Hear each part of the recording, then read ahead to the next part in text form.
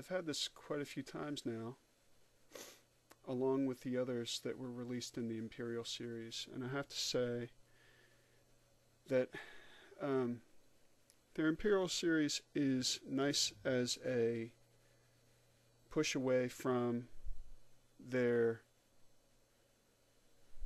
uh, more commonly available varieties. I really did enjoy the difference. Uh, that said, I think that um, when I'm looking for a good Imperial White, or uh, more importantly, uh, a Trappist style, I'm probably going to stick to a Trappist style. I'm going to go for something like St. Bernard, Bernardus or um, one of the six Trappists. Um, I think that it was a nice experiment. I I would be surprised if we see this again next year. I think maybe they'll move on to other styles or maybe even dissolve the Imperial series altogether. Uh, that is not to say that this is not good, and we'll talk about the good things about it. Um, I just think that it maybe misses the mark somewhat. So, that being said, let's take a look at the uh, whole bottle shot because of course I like to use video as a basis for my photography. Uh, this is a 10.5% or 10.3% ABV in a 12 fluid ounce bottle. That tells me, for example, that I can expect it to be around 300 calories. Again, I haven't studied uh, Bob Skilnik's book, uh, Does This Beer Make My Butt Look Big? Uh, but apparently he's done a lot of research on calories, and I think Sam Adams actually makes their calories available. I, I haven't actually found their Imperial series listed anywhere, but that's not to say that that information is not available, like many others. Speaking of St. Bernardus, here is one of my favorite Trappist glasses in my glassware collection. Sometime I'm going to have to spend some time. Um, and here's actually my beloved Sam Adams bottle opener that I got while I was in Orlando the one time in my life. Let's listen to the crack.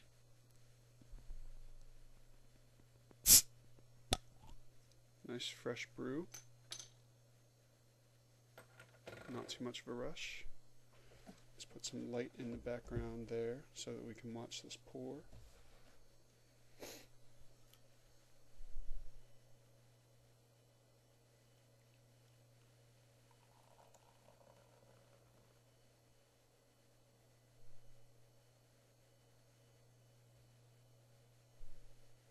Fairly clear pour. It's a deep golden body a little bit dark for wit, certainly. Usually I expect something a little bit more golden. Uh, but this being an imperial wit, I can understand why they go a little bit darker. And I can already smell the uh, sort of cloves and other effects. Let's see if we can actually get some light behind it. See, it's very nice. Very nice color. Very nice carbonation. Beautiful head. Let's see if we can get this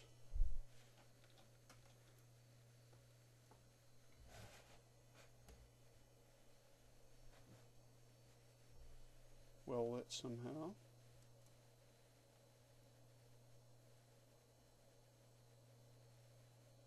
It's very nice. Pretty.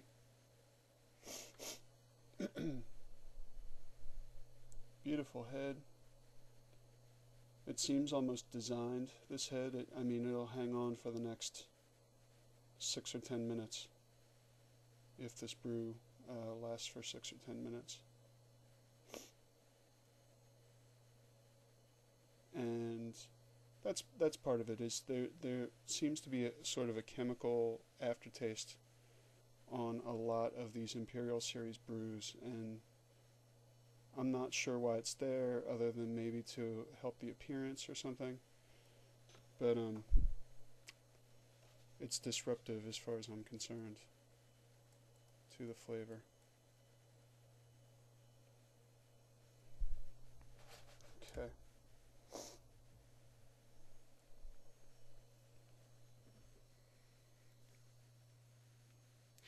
And uh, this particular brew is something that I uh, invited my friend Suzanne to try too. So I'll be interested to see what she has to say about this brew.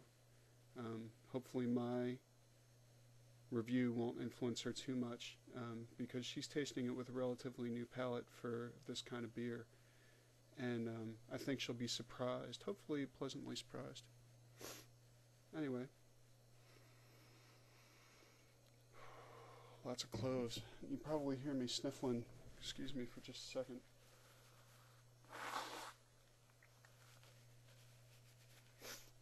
Just getting over a little bit of a cold, so forgive me for all the sniffles.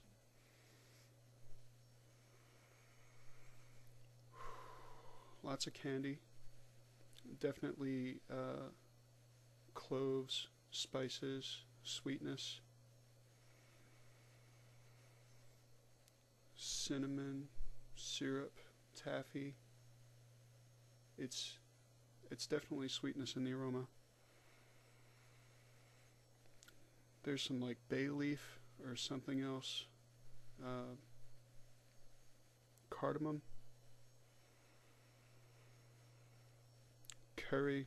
I can imagine that the scent would uh, offset a really nice Indian dinner as uh, many of the beers that I really enjoy would. Delicious. Delicious scent. Let's give it a taste.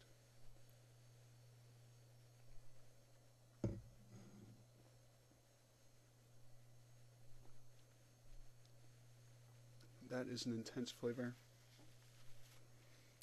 It's it's not especially well balanced. I think it's overly sweet, almost cloying.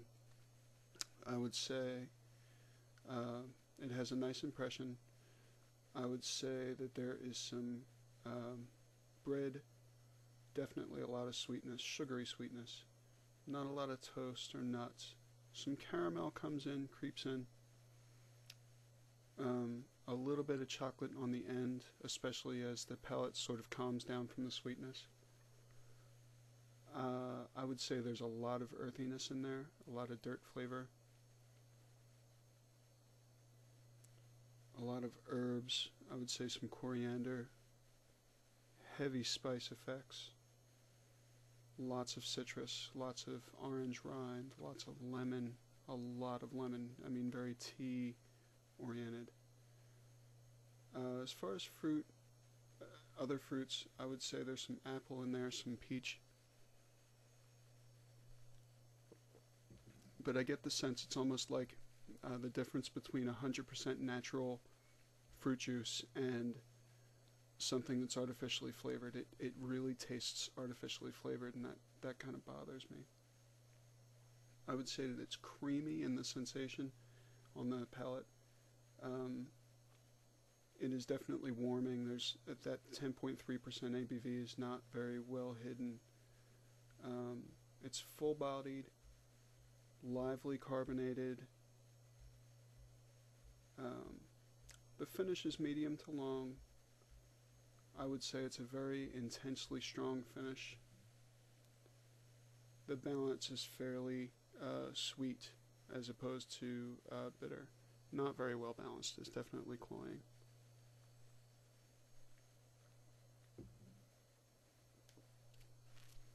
I have to applaud uh, Boston Beer Company for trying something uh, like this with um, so much safety in in their core business, uh, and I say safety in terms of, of money. You know, especially in this economy, you you can't be too experimental, um, even though beer does allow it allow it to happen.